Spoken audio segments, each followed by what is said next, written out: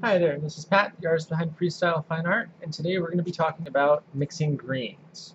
Um, I hear a lot of people tend to have issues with this, um, so we're just going to go over a couple of few different colors that you can use to make the you know more vibrant greens, and then we're just also going to talk about how to neutralize them down a little bit, and even how to mix like neutral greens already as is.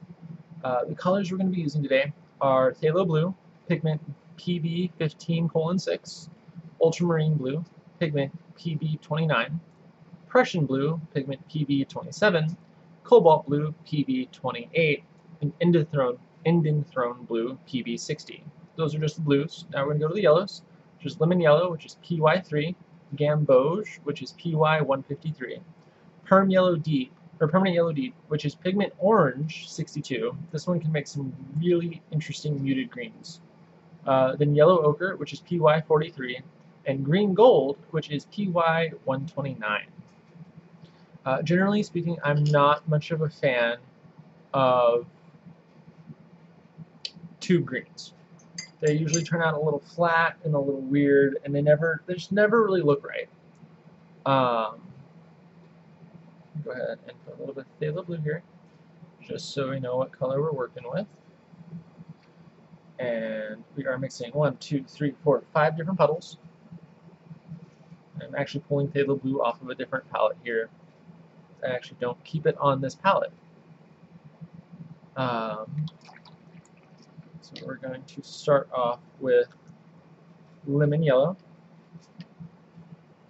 which is right here. This makes the most vibrant green.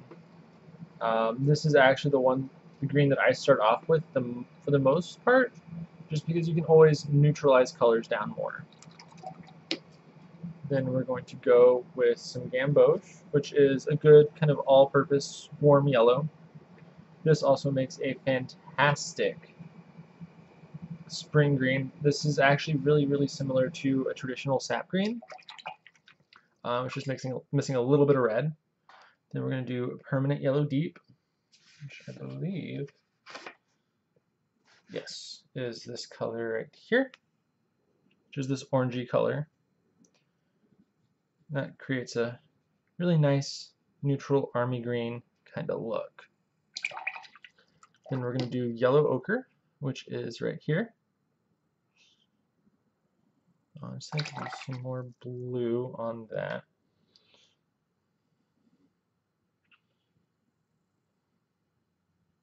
Okay. This is also a nice muted army green kind of color. Then we're going to do green gold, which I love, absolutely love this color that it makes. This is like the brightest, springiest, happiest green I've ever seen. Okay, so now we're done with those. Go ahead and wipe that down.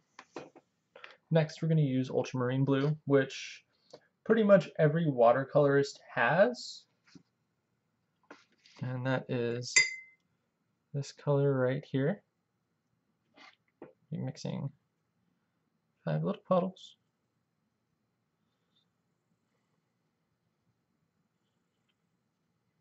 I'm just going to put some right here just so we know what that color looks like. Um, whenever you're mixing secondary colors or trying to figure out how to mix the right one, um, I would actually highly suggest making one of these. These are just one inch by one inch squares on some Canson XL watercolor paper.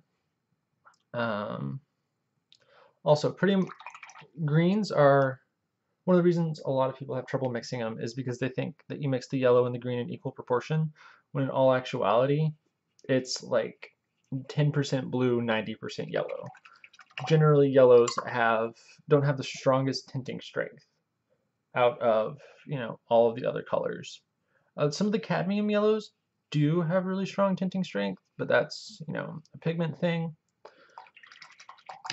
Now we're going to mix it with the orange, and since this is a warm blue mixing with a warm yellow, you're not really going to get the brightest green. That's actually hardly even green at all. Like this is, it's a great gray, fantastic shadow color right there. So I actually use this color a lot if I don't want a super granulating uh, shadow instead of doing the burnt sienna ultramarine blue mixture that a lot of people do. Um, so now we're going to do yellow ochre, which is this nice goldeny color. It Yellow ochre does tend to be a bit on the opaque side. A lot of people actually don't use it. They'll use a raw sienna instead. Push the wrong color. Um, because they feel that you know yellow ochre tends to muddy up their paintings a lot, which I can get. I get that. Um, I do. That mixture just got completely out of control. There we go. That's that's more accurate. Now we're gonna mix some green gold. This is like literally the only way I've been able to get it even slightly bright green with ultramarine blue. Is with green gold. Ooh, now we're doing Prussian blue. One of my favorite colors ever. Uh, it's kind of like phthalo blue, but you know, moodier. I like to think of it as the like the the, the goth version of phthalo for, you know, stuck in the 90s. Because, honestly, who wasn't at this point?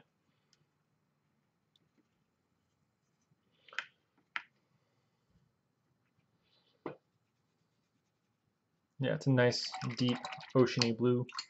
The reason I actually have both, the reason I have, or I usually have uh, Prussian and the Phthalo blue on my palette at the same time is because Prussian is actually a granulating blue, as opposed to Phthalo blue, which is a staining blue. Now we're going to mix with gamboge. So this is a fun little green to make.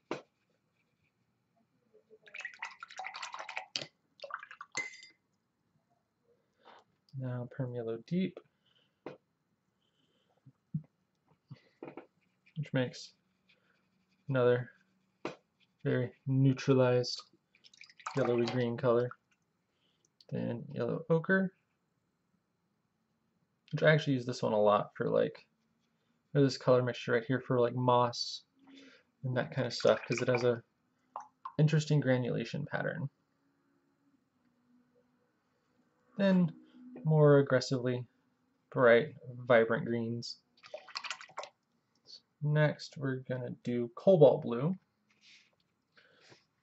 which is an interesting color. Um, some people can't stand it, some people love it. Uh, I know Angela Fehr is a big, big fan of Cobalt Blue. Um, I believe the Lindsay, the Frugal Crafter, isn't a big fan from what I remember from some of her videos. Um, it's a pretty neutralized blue. It's not too red bias or too green bias. Um, I'm honestly not the biggest fan of it myself. Uh, it acts like an ultramarine, and honestly, I use them pretty interchangeably. So now we're going to do cobalt and lemon.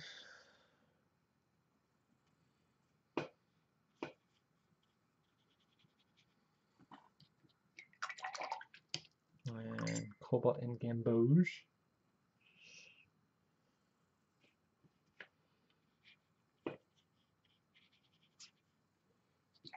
then cobalt and permanent yellow deep. That's too strong on the yellow. Cobalt's also a really weak color, I find. It doesn't... I like strong colors because I am of the mentality of I can always, you know, neutralize the color or do it in a thinner wash if I want, you know, I want it to be weaker. Um, so I don't really personally see much of the point of buying these pre-weakened colors because I feel like it's very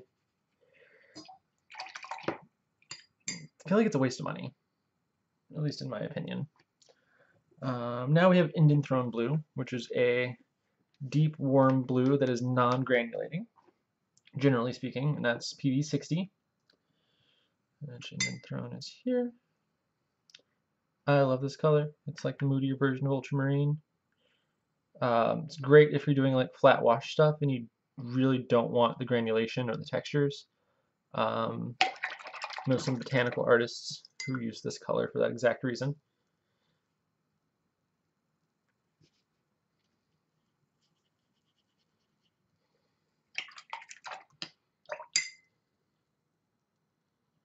There's the Indanthrone. So, Gamboge.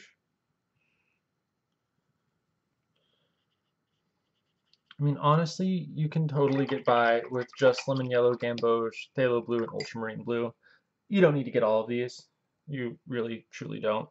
It's honestly probably a bit of a waste of money to do it. I just do it because I like things. Um, I also like trying stuff out.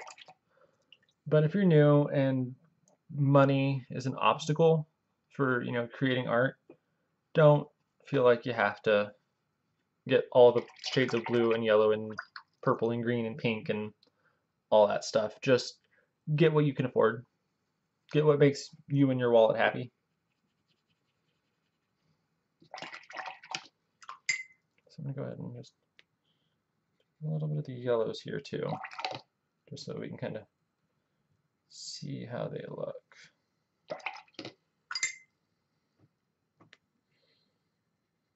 See, that's like a that's an or that's a that's an orange.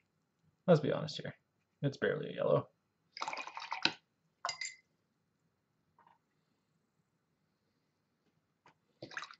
Yeah, so these are the greens that I generally make. Um, you can really you'll, you'll you would be fine with just these these four colors right here. The Gamboge, Lemon Yellow, Phthalo, and Ultramarine. You don't have to have all the extra stuff. Um, I mean, it's nice. It's fun. You really don't need it. Um, but I will talk a little bit about neutralizing your blues, or neutralizing your greens. So I have Phthalo Blue here. Now I'm going to get some Lemon Yellow just to mix it in, create that nice, vibrant green right there. And to neutralize it, you would want to add, you know, the opposite of green on the color wheel, which is red. We're going to go specifically with Cinnabar Red here, because that is a good opposite of a green made with phthalo. We're just going to mix them together until we get, you know, that color, which looks really, really, really similar in hue. It's a little washed out you know, some of the more neutralized permyellow deep mixtures. Like, these two are essentially the same color.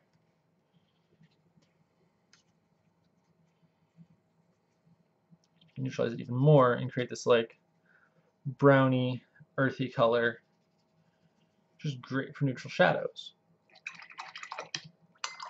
So like, my in my opinion, by the by, by the vibrant colors, neutralize them down, don't waste your money. Um, yeah, that is all I got for you. Um, thank you for stopping by and making it through this video. If you like what you saw, please like, comment, and subscribe. Uh, if you have any suggestions or anything else you'd like me to do, please leave it down below in the, com uh, the comments. Uh, yeah, that's all I got for you. Thank you.